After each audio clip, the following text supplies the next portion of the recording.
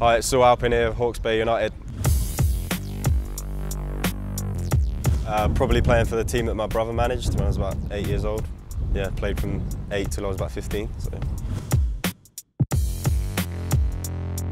Thierry Henry, Dennis Bergkamp, both play for Arsenal, team I support, so good players. Probably Ryan, he probably gets his haircut every couple of days, I think, so probably based on that.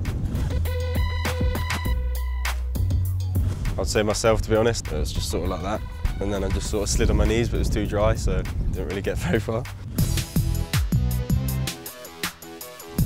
Probably my iPhone, like Spotify, goes a long way for me and all the lads, really. My boots.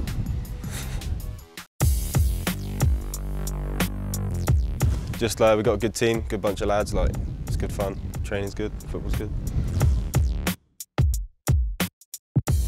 Just move the ball quick, keep it moving, pass forward when you can. Uh, he hates when you pass back, hates it a lot. Arsenal, team I support, so easy answer really. Not going to say am I, just in case someone's watching. Keep that secret.